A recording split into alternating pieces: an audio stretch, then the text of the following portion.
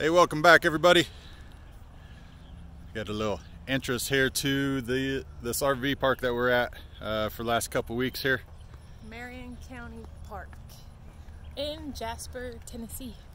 Nice.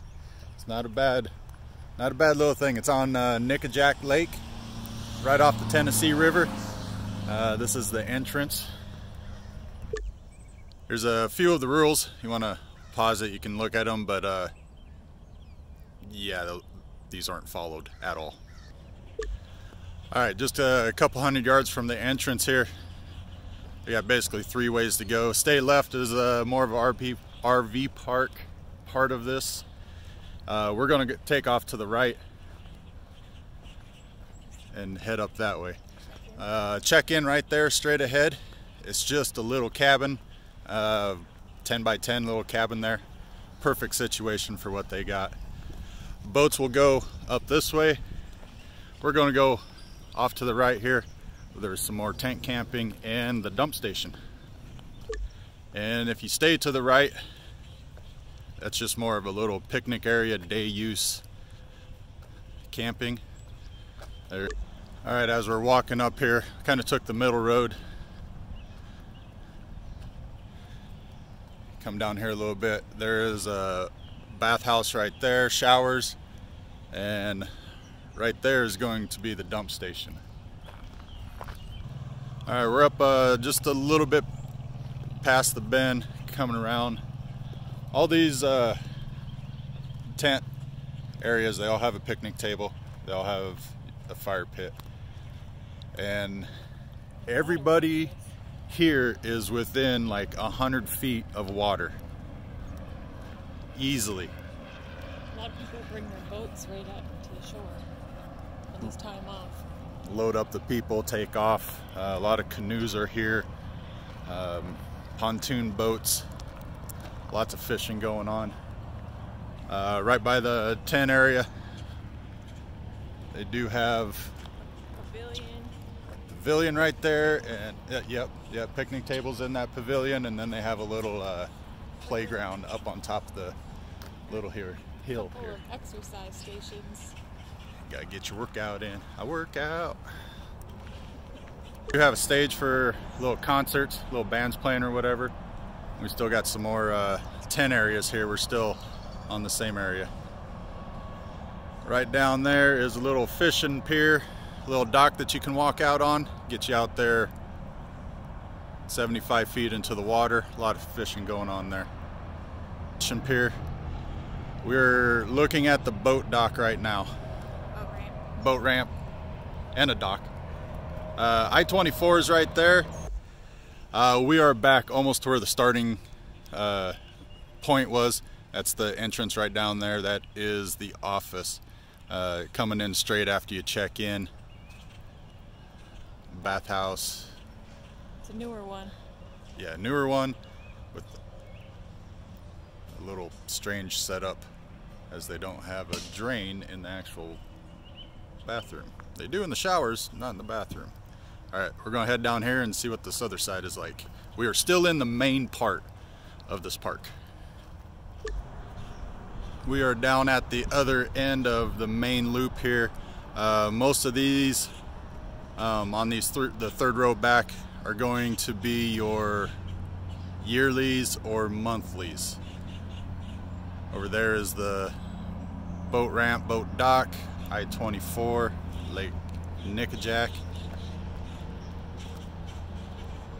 And these first two rows uh, on the right hand side, nearest the water, are all the back ends. On the left hand side or the middle row, these are all going to be your pull throughs. The pull throughs are huge.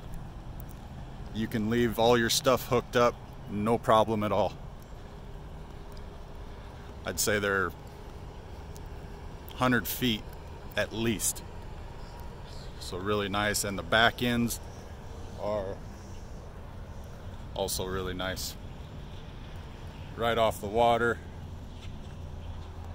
You set up your little pop-up or a chair just to see what's there.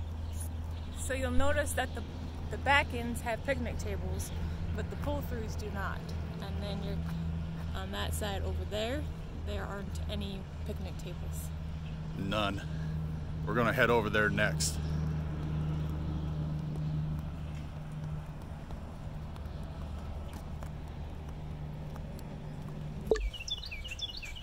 Little shot of the office there for you. I think they have this on their website. We were just there. We just walked around this way.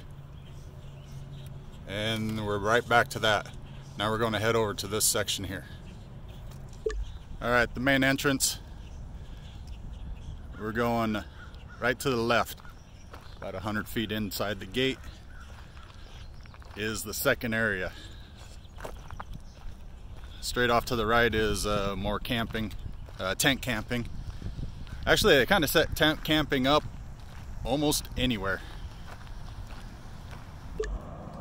All right, we're here at the second boat ramp. We were just over there. That's the main RV parking. Swing you guys around here. This is the second loop. Let's head down there and see what it's got. All right, just left the boat dock heading into the other loop. Depending on where your site is, take a left or go straight. So it's sites starting at 37 is this side, on the right side. And then I think there's about 60 spots. I think there's 58. There's a couple more up yonder there. So we're probably looking about 60 total spots for this campground. Tent camping, I know they have 25, 30 spots, but really they'll pack it in here as much as possible. And you'll notice that all the sites in the campground have you have a, at least a view of the water. Either if you're in the middle or on the edge, but everyone can see the water from their spots. And our spot is coming up here in just a second. Uh, and then you'll see all the little trash bins around. Those get emptied pretty frequently. Uh, they're full now from the weekend and everything. Um, I think they come every few days or so, but they're actually here right now emptying the, the bins. All right, we are at the end of the loop. Turn around. If you do have a big rig, this is going to be the second tightest part. The first one is making it under some trees over by the tent area, which don't go over there if you have a rig hooked up. And we'll end it. This is our spot right in front of us that we're walking to, which is actually a really good spot, spot number 43. And one thing that we didn't mention is that there are no there's no sewer here, so you're gonna have to if you're gonna be here for a while. You probably need a blue boy, you know those little wagon things that you pull and put your poo in. and we were in a spot that has uh, 30 50 or 20 30 50 no sewer electricity seems to be pretty good here. All right guys from marion county park thanks Check for joining us. go ahead and hit that subscribe button or at least share it with one of your friends that would be interested in seeing some of our stuff so we would appreciate that. All right guys until next time. Bye. Just kidding. We forgot one thing.